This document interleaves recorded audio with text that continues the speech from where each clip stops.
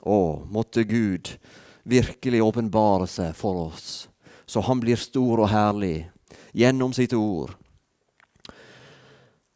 Og Jeg skal lese to vers i apostelgjerningene, det 24. kapittel i dag. Og Der leser vi vers 15 og 16. Og Paulus er blitt tatt til fange. Han blir holdt i forvaring. Og uh, der er en guvernør, en landshøvding, som uh, vil høre hva Paulus har å si til sitt forsvar. For uh, jødene som hadde overgitt Paulus og ville egentlig ta livet hans.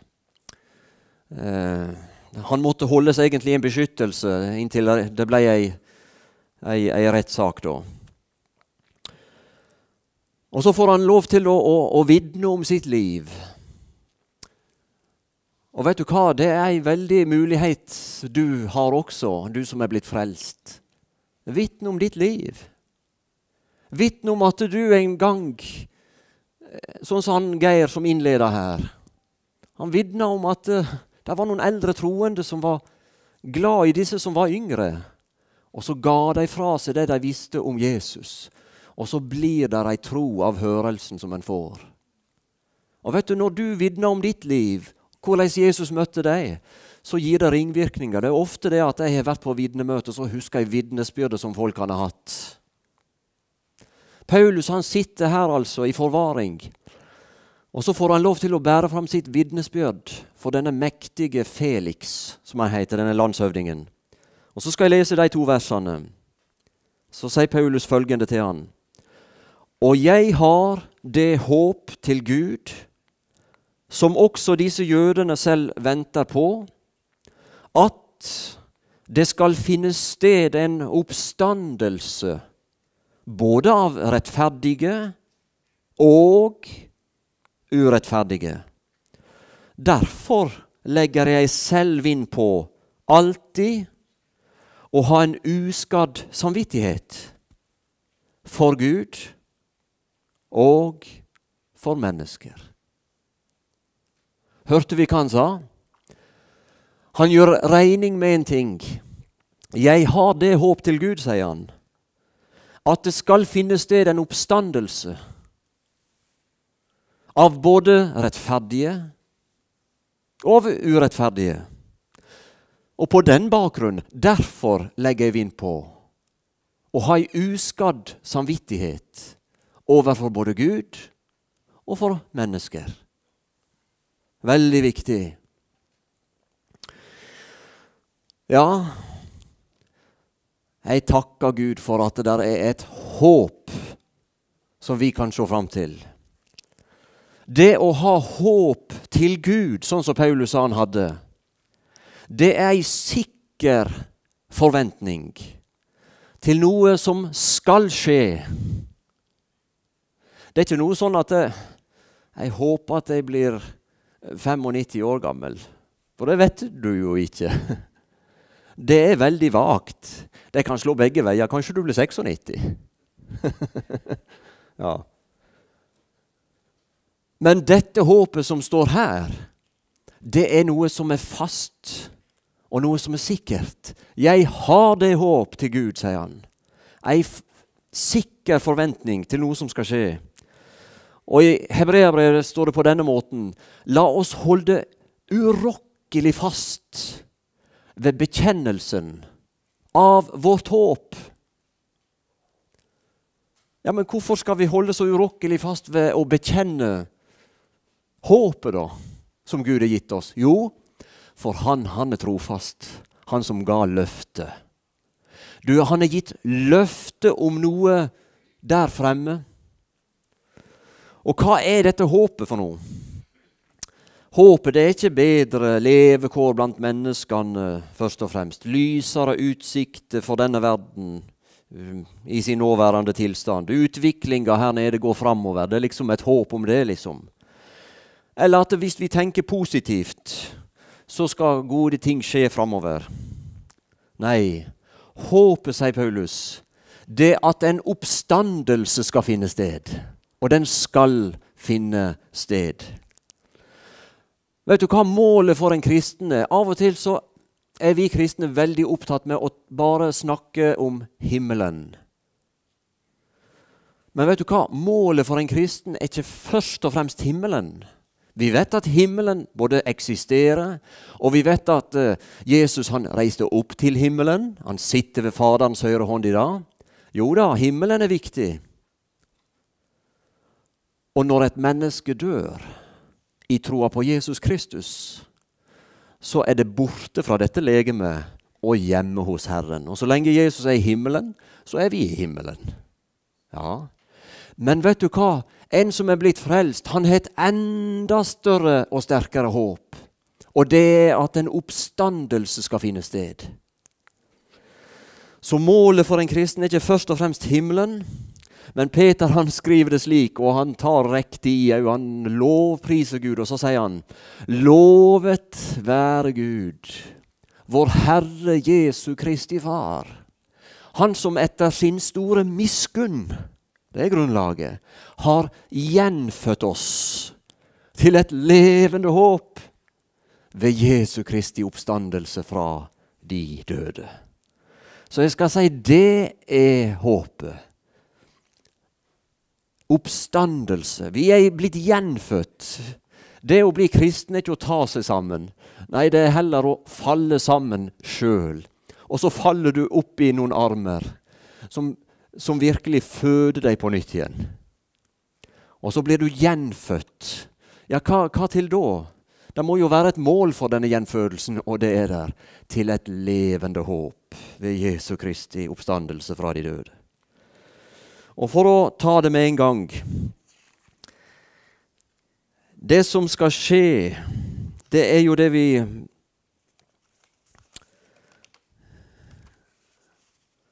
kan lese om i 1. Tessaloniker 4 bl.a. Jeg vil ikke at dere skal være uvitende om de som allerede har sovna inn, altså. Det, det, betyr å dø, da. For at ikke vi skal sørge som eh, de andre, de som ikke har håp, sier han. Ja vel? For så sant vi tror at Jesus døde og oppsto, så skal Gud ved Jesus også føre dem som er sovnet inn, sammen med ham. For dette sier vi dere med et ord av Herren, vi som lever og blir tilbake inntil Herren kommer. Skal aldeles ikke komme i forveien for dem som er sovnet inn. For Herren selv skal komme ned fra himmelen med et bydende rop, med overengels røst og med Guds basun og de døde i Kristus, de skal først oppstå.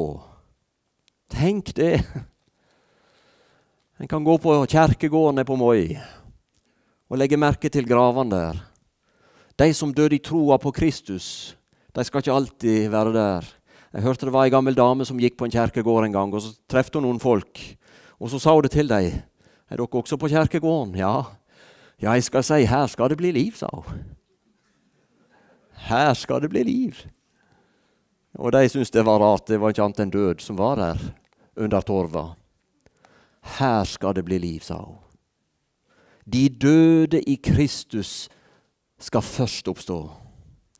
Deretter skal vi som lever, som er blitt tilbake, sammen med dem rykkes opp i skyer, opp i luften, for å møte Herren. Og så skal vi for alltid være sammen med Herren. Trøst av hverandre med disse ord. For den troende er budskapet om oppstandelse et trøstens, et vidunderlig trøstens ord. Jeg har det håp til Gud, sier han, at det skal finnes sted en oppstandelse. Det står han og vitner om for en guvernør. Han legger ikke noe imellom, men han er krystallklar. At døden er ikke det siste, Felix. Ja, men eh, det er greit nok at uh, de rettferdige skal opp. Nei, sier Paulus. Det skal skje en oppstandelse av både rettferdige og av urettferdige, sier han. Du, menneskeheten den befinner seg enten i den ene eller i den andre leir. Enten du, blir du betrakta som en av de rettferdige, eller et alternativ til. Så er du blant de som er urettferdige. Og hvis vi tok en spørreundersøkelse her i kveld Hvis du skal svare på hvor vil du plassere, plassere deg hen, så tror jeg at du vil plassere deg blant de rettferdige. Da regner vel med det er best utsikter der. Og det stemmer. Det er der det er best utsikter. Blant de rettferdige. Hva det vil si å være rettferdig, da? Hvilken standard skal vi legge til grunn for rettferdighet? Er det norsk standard? Eller er det internasjonal standard? Eller er det EU-standard? Du vet, Nå har jeg hatt noen biler opp igjennom at jeg, jeg har kjøpt dem av naboene som jeg tenkte å hive dem, men så har jeg kjørt dem litt lenger. Så, så, det som jeg har gjort, jeg har kjørt dem til det punktet at nei, nå klarer jeg ikke å, å holde det, denne her bilen lenger. Så jeg er godt kjent med skraphandlerne. Å ja, det du nå igjen? liksom. Så kjører jeg opp en bil til, og så går det til kondemnering. Og det betyr fordømmelse. Han holder ikke mål i forhold til EU-standarden. Men så har vi en standard som heter den individuelle standard. Og den tror jeg er mest utbredt i Norge. For alt er jo relativt. Og det som er riktig for deg, er riktig for deg, liksom. Men hvis jeg har en annen standard, så må jeg få lov til å ha den standarden. Og så har alle mennesker liksom sin standard på hva som er godt og galt. Ja. Nei, der er én standard som gjelder. Det er Guds standard. Og det, det, er Gud som må si oss hvem som er av de rettferdige, og hvem som er av de urettferdige. Jesus sa det slik.: Hvis ikke deres rettferdighet overgår de skriftlærdes og fariseernes rettferdighet, kommer dere aldri inn i himlenes rike. Hva var det de stolte på da? De ga jo seg ut for å være rettferdige, og de hadde jo si form for rettferdighet. Men holder den for Gud? Jesus han sier det gjør den ikke. Så vår rettferdighet må overgå deres rettferdighet. Åssen tenkte de? De la vekt på bare på ytre gjerninger slik loven enten forbød eller kommanderte de til. Og så skrøt de av at de holdt dette her. Jeg talte jo en kveld om uh, fariseeren som sto oppe i tempelet og, og, og, bare skrøt av sitt liv. At han ikke var som andre mennesker. han ga tiende av alt han eide. og Fasta to ganger i uka. og Så la han fram sitt liv, det som han hadde gjort. Men den rettferdighet holder ikke for Gud. Nei, Guds standard til rettferdighet overgår disses standard. Og jeg tror i dag også så er det akkurat samme. Folk forsvarer seg så best de kan, ut ifra sin standard. Men det vil ikke holde for Gud. Hvem er rettferdig i denne verden? Ja, Menneskelig sett så kan vi legge merke til at Bibelen det er ei bok som driver med bevisføring over hva et menneske er for noe. Derfor så har vi hele israelsfolkets historie som et bevis på at der fins ikke én rettferdig. Ikke en eneste. Å ja, men det gjaldt vel bare jødene? Nei, det gjaldt hele verden. Men Gud har demonstrert dette gjennom jødefolket. Og Romerbrevet sier det krystallklart. Det fins ikke én rettferdig ikke en eneste. Alle er avveket. Det er ikke én som er forstandig, ikke én som søker Gud. Og så kanskje du sitter her og protesterer. Ja, men jeg søkte jo Gud. Ja, det gjorde du. Jeg skal ikke ta fra deg det. Men hvorfor søkte du Gud? Ingen av oss hadde søkt Gud hvis ikke det var for at han først søkte oss. Så det at du har søkt Gud, kan du prise Gud for. Det er Han som har virka, at du åpna ditt hjerte, og så ga du respons på en som hadde vært der før deg. For et menneske er så fravendt ifra Gud i sin natur. At de ikke vil søke Gud. De må bli oppsøkt av Gud. Ja. Er ikke det da godt at du har blitt frelst? Har ikke du da, da masse å takke Han for? Tenk, jeg som har søkt Gud. Jeg innser nå at eh, da må jo Han ha søkt meg først. Og takk Gud for at du søkte også meg. For en Gud vi har med å gjøre. Så står det videre i dette tredje kapittelet i Romerbrevet Gud sin rettferdighet den er blitt åpenbart, står det. Den er blitt altså avslørt. Og det er Guds rettferdighet som aktiveres, vil jeg si, som trer i funksjon, som trer i kraft ved troen. Ved tro på Kristus Jesus til alle og over alle som tror. Så du skjønner, hvis et menneske har kommet dit hen han har hørt om Jesus, og så klynger han seg til Jesus Kristus og tror på Han, så blir Guds rettferdighet med å kle dette mennesket. Og så står vi rettferdige for Gud. For felles for oss alle sammen ingen forskjell, sier Guds ord. Alle har syndet. Jeg har synda. Du har synda, alle har synda. Felles for alle. Alle har syndet og dermed står uten ære for Gud. Men disse blir erklært rettferdige for Gud, og det er ved troen på Kristus Jesus. De blir rettferdiggjort uforskyldt, helt uten grunn fra Guds side, egentlig, eller fra vår side, av Hans nåde ved forløsningen i Kristus Jesus. Så jeg har kommet inn til Gud, og Han har virkelig kledd meg i sin rettferdighet. og Derfor står jeg rettferdig for Gud. Jeg har kommet til tro på Han. Og jeg må spørre her er du blant disse rettferdige? For det skal finne sted en oppstandelse av de rettferdige. Her er mange på Hovsherad som har kommet til tro på Jesus opp gjennom tidene. Og de har gått inn i døden, men de la seg til hvile med håp. Håp. Det lyser håp over deres dødsdag. Hvorfor? Jo, de er blant de rettferdige som, har, som er gjenfødt til et levende håp ved Jesu Kristi oppstandelse eh, fra de døde. Hva skal skje?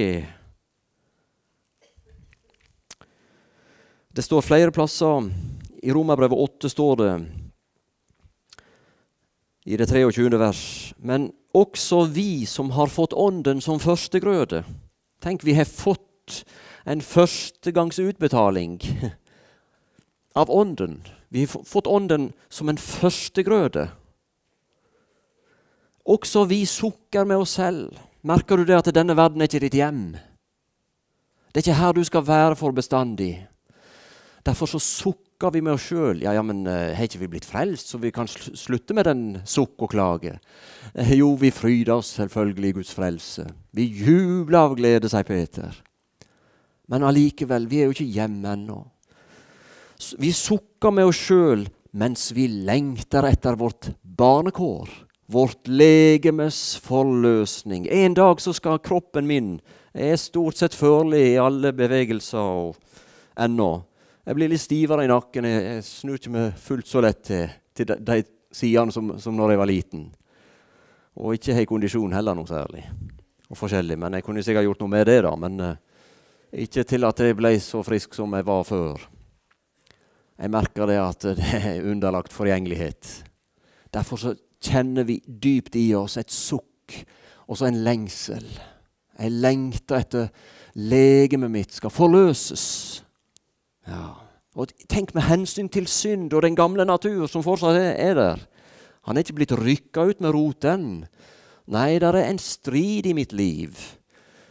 Ånden som bor i mitt hjerte, strir for at Kristus skal vinne skikkelse. Men kjødet strir for at eh, den vil ha sin vilje. Og disse to ligger i strid. Tenk den dagen du er løst ifra den striden.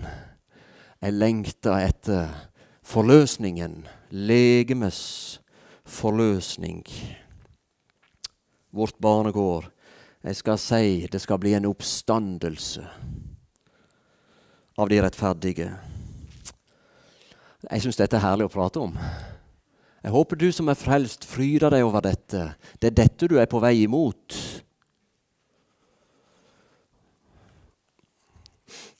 Vi har vårt hjemland i himmelen. Og Derfra venter vi også Jesus Kristus som frelser. Ja vel, han driver og frelser hele veien, han. Han frelste meg én gang. Han driver nå og frelser meg fra dag til dag. Og så skal han frelse meg inn i sitt himmelske rike. Og når han skal komme, så skal han frelse meg. Han skal forvandle mitt fornedrelseslegeme. Han skal gjøre det likt med hans herlighetslegeme ved den kraft han òg har til også å legge alle ting under seg. For en mektig fyrste vi er kommet inn i. Jesus Kristus, fyrsten som kom ifra himmelen og ville frelse. Han er full av frelse, og hans frelse ønsker han å bruke på mitt og ditt liv. Tenk så stort! Er ikke du glad for å være gjenstand for en frelser? Ja, ikke en som bare skryter på seg at han vil frelse, men han kan frelse. Han er den eneste som kan frelse. I alle andre religioner blir du overgitt til deg sjøl. Prøv å frelse deg så godt du kan. Men når du kommer til Jesus, så tar han hånd om deg og vil frelse deg. Ja vel. Åssen er det med, med, med, oss som har blitt rettferdige for Gud, da? Hva skjer med oss? Jo, det skal jeg si. Vi blir de beste skattebetalerne som Norge har. Hva er det du sier for noe? Det blir slutt på snusk og fanteri når du blir frelst for du vender deg om ifra din synd. Og Det er veldig viktig at vi snakker tydelig med hverandre. At ikke vi holder noe i ei gråsone. Satan elsker gråsoner. Satan elsker mørket. Satan elsker alt som er uklart. Når du blir frelst, så kommer du opp i lyset, og så begynner du å vandre i lyset. Og vet du hva som skjer når du begynner å vandre i lyset? Så har du samfunn, og du finner samfunn med andre som er kommet i lyset. Og så har du samfunn med far. Og da erfarer du at Jesu blod, det renser. Driver og renser. Jeg er glad det er et blod som pulserer rundt i kroppen min. Hjertet, hjertet mitt pumper dette blodet rundt. Hvorfor gjør det det? For dette blodet driver og renser kroppen min fra urenheter og transporterer det ut du, der er et blod som renser oss ifra all synd. Og skulle vi havne opp i ei eller annen synd som, som, som er så lett for å henge ved oss, så bekjenner vi det. Dersom vi bekjenner våre synder, ja, så er Han trofast og rettferdig. Han tilgir oss syndene. Så renser Han oss ifra all urettferdighet. Er ikke det flott? Og det medfører at en som har blitt rettferdiggjort ved troen på Jesus, som hører til de rettferdige, han blir etter hvert mer rettferdig i si ferd òg. Det blir frukter som vokser fram. Du, Det er et stort spørsmål hvis noen sier 'jeg har blitt frelst og omvendt', og driver på nøyaktig slik som før en ble omvendt. Hva er det slags liv? Da må det være noe galt. Ja, men tar ikke du munnen litt for full nå? Nei. Johannes, som blir kalt for kjærlighetens apostel, han, han, han, er egentlig utrolig kvass, han. Han er tydelig. Han sier det mange plasser. dersom vi sier at vi har samfunn med ham, men vandrer i mørket, da lyver vi. Da lyver vi, sier han, og gjør ikke sannheten. Og dersom vi sier at vi, vi ikke har synd, ja, da, da bedrar vi oss selv, og sannheten er ikke i oss. Ja, dersom vi sier at vi ikke har syndet, da gjør vi ham til en løgner og Hans ord er ikke i oss. Og den som sier 'Jeg kjenner ham', og ikke holder hans bud, han er en løgner, og sannheten er ikke i ham. Vi må jo ta slike ord på alvor, må ikke vi vel? Den som sier at han er i lyset og hater sin bror, han er ennå i mørket. Han setter det så sort-hvitt her, altså. Hater du din bror? Er det kommet inn et hat i ditt liv?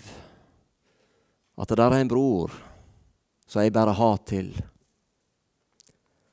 Ja, Jeg skal ikke ta på meg ansvar for dette, men Bibelen sier han er ennå i mørket. Han er ennå i mørket. Da vil jeg lokke deg fram. Kom ut av mørket. Kom til Jesus. Han kan gjøre noe med disse tingene her. Det kan nemlig ikke du. Sånn kan vi holde på å lese. Jeg tror, er du blitt rettferdig i Guds øyne, så vil fruktene komme fram at det har skjedd noe med ditt liv. Jeg har det håp til Gud. Det skal finne sted en oppstandelse av rettferdige. Men så tilføyer han og urettferdige. Hva skal skje med urettferdige, da? Hvem er de, da? Det er de som ikke har blitt frelst. De som har bare skilte med sitt eget jeg og sitt liv. Også de må gå i døden, slik som du og meg. Hittil, i hvert fall. Men også de skal opp av gravene. Du, det er Mange av disse urettferdige de tenker som så. Livet, det er bare mellom krybbe og grav. Og Derfor så har de ofte en livsinnstilling at hvis vi skal få noe ut av dette livet, så må vi gjøre alt vi kan for å få det ut her og nå. For når vi er døde, så er det jo over. Det fins ikke noe utover dette. Derfor så har de et motto. La oss ete og drikke, for i morgen så dør vi. Altså la oss prøve alt, liksom. Og, og leve ut livet. Det er en livsnyters motto. Vi må rekke alt nå. Det er ingen moral som skal gjøre deg ansvarlige for noen ting. Og en ateist Det er masse ateisme i Norge i dag.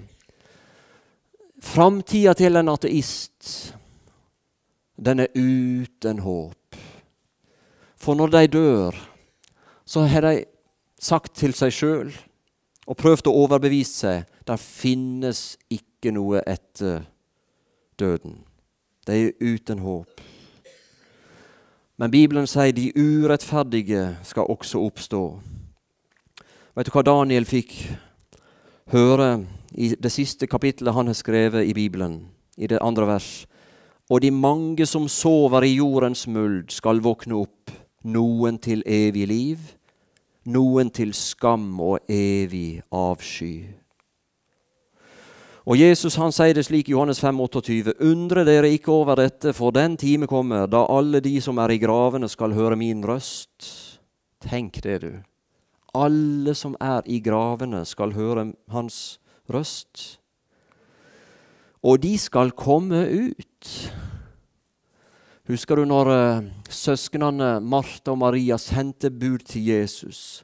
Han som Lasarus, han som du elsker, han er syk. Og så ble, ble Jesus ifølge dem for sein. Og så døde Lasarus ifra dem. Men så ble Jesus brakt ut i gravåpninga. Og så står det at uh, han sa til folket de skulle rulle steinen vekk fra grava der Lasarus lå. Ja, men han stinker jo allerede. Han ligger der på fjerde dagen. Sa jeg det ikke at dersom du tror, skal du se Guds herlighet, sa han til henne. Og da sier Jesus det. Lasarus, kom ut. Hadde det noen effekt? Jeg skal si det hadde effekt. For ut av grava kom den døde, ombundet med liksvøp. Det gjorde han. Hva da på? På et ord. Husker før så, Vi hadde en katt. Av og til så ropte jeg på han. Og jeg har jo ei ganske grei stemme, tenkte men det var ikke alltid katten kom. Jeg kunne ikke få en katt til å komme hjem til meg en gang. Her er det en som er i møte med stinkende, råtnende død.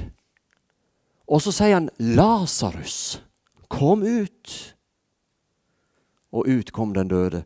Det var en som sa det på denne måten. Hadde ikke Jesus denne dag sagt 'Lasarus', men hvis Jesus hadde bare sagt 'kom ut', så hadde alle de døde kommet ut. Men dette mister vi kontrollen på. Hvorfor? Han skal kalle dem ut. Undre dere ikke over dette. Den time kommer da alle de som er i gravene, skal høre hans røst. Det skal skje en dag. Men den dagen der, da var det kun Lasarus. Dere andre får vente. Jeg skal rope på dere også, men hver i sin avdeling. De rettferdige skal først ut. Så er det de urettferdige. Og etter tusenårsriket så skal de urettferdige kalles ut av døden. Havet skal gi tilbake sine døde, og døden og dødsriket skal gi tilbake sine døde. Og da skal de føres fram, de urettferdige, foran den store og hvite trone, i den himmelske herlighet. Og der blir bøker åpnet, bøker i flertall. Og det som disse hadde gjort, det sto oppskrevet i disse bøkene. Men så skal vi legge merke til og en annen bok ble åpnet, som er livets bok. Det var ei bok som kom utenom bøkene og så står det De døde ble dømt etter det som var skrevet i bøkene, etter sine gjerninger. Da er det bøkene i flertall. Der blir straffeutmålinga helt rettferdig satt. Hvem av da? Faderen har overgitt hele dommen til Sønnen, så det er Sønnen Jesus Kristus. Han er ikke bare frelser, han er dommer òg. Og så ble de dømt. Og døden og dødsriket ble kastet i ildsjøen. Dette er den annen død, ildsjøen. Og så står det Og hvis noen ikke ble funnet innskrevet i livets bok. Det er den absolutte bok. Det er i grunnen det det kommer an på. For det at det der står ting i bøkene, det avgjør bare straffeutmålinga for evigheten. Men dersom ikke noen ble funnet å være innskrevet i livets bok, det er grunnen til at de, at de ble kasta i ildsjøen. Kan du tenke? Vet du hva? Med dette budskapet i kveld så er det et veldig alvor over et låvemøte. Sjøl hvor flott det er å være i en låve. Å få sitte her og høre sang og musikk vi kaster glansen på Jesus.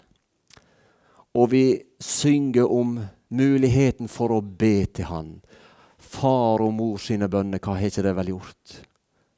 Mange har blitt frelst på grunn av det som skjedde med mor og far, og det de ba.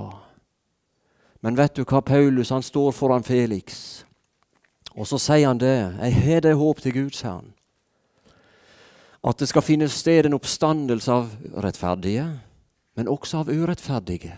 Det er ikke slutt med døden, kjære venn. Du skal opp av grava, og så skal du stå til ansvar for Gud. Som rettferdig er jeg glad at Jesus sa, 'Den som hører mitt ord' og tror Ham som har sendt meg, han har evig liv, og han kommer ikke til dom der er en hel skare av mennesker, millioner på millioner av mennesker, som ikke skal stå foran den store hvite trone. Han kommer ikke til den dommen, men han, han er gått over ifra døden og til livet. Å, salig er du som lever hos Jesus. Men så er det en stor skare av store og små som blir kalt fram til den store hvite trone. Åh, det blir granska med lykt og med lupe. Kan Jesus finne navnet deres i den ene bok, livets bok? Og hvis ikke han finner det der, så kvalifiserer det til å måtte bøte med ildsjøen for evig. Og måtte ingen her tenke som så at nei, jeg har min vei til Gud. Det har du ikke. Der er bare én vei til Gud, og hans navn er Jesus. Og du trenger Jesus. Du må bli frelst. Det må du. Måtte dette tale til oss. Vet du hva det står i det samme kapitlet som vi begynte med i dag? Han ville gjerne høre Det var en annen dag, så kom han med kona si, han Felix, og høre Paulus. Og da vitna Paulus igjen om troen på, på, på Gud og Kristus. Og, men da han talte om rettferdighet, avhold og den kommende dom, nei, da sa Felix du, eh, Paulus, eh, stopp talen din. Jeg, jeg, jeg, kan, ikke høre meg på dette nå. Jeg vil heller høre deg en annen dag. Og den dagen kom nok aldri. Hvorfor? For da var det noe som trefte han. Når Paulus løfta fram den sida av Guds ord som omhandla om rettferdighet, om avhold og om den kommende dom, så ble det for mektig for han. Han ville ikke høre om det. Selvfølgelig, vi kan ikke reklamere for 'kom og hør på dommebudskapet'. Men det hører like fullt med til Guds ord. Vi skal ikke gi folk det de vil ha, først og fremst, men det de trenger. Ikke sant? Vi må, En dag så skal vi svare for hva, hva sa vi egentlig? Det er så masse billig nåde nå om dagen at alle blir frelst. Det er en slags universalisme. For Jesus er jo gjort opp for alle, derfor blir alle frelst. Og så er de så lettvinte på det. Bibelen taler jo ikke sånn, selvfølgelig, men det er folk som taler sånn. Og så hører mange på slike som står fram på en sånn måte. Nei, oppstandelsen skjer av rettferdige og av urettferdige i hver sin avdeling. Det skal skje. Men for et håp for den som er frelst. Ikke gå ifra dette møtet i kveld uten at du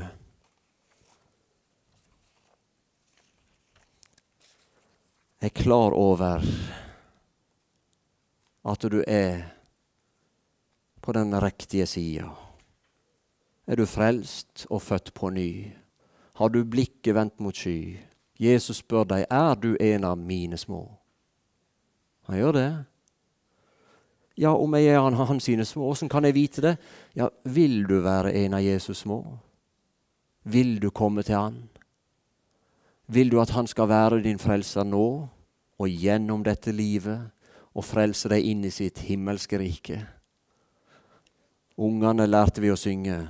Ja, nå vet jeg hva jeg vil. Jeg vil følge Jesus. Ja, la meg si det en gang til. Jeg vil følge Jesus. Det er ingenting å lure på, for jeg har bestemt meg nå. Jeg vil følge Jesus. Jeg vil følge Jesus. Herre Jesus,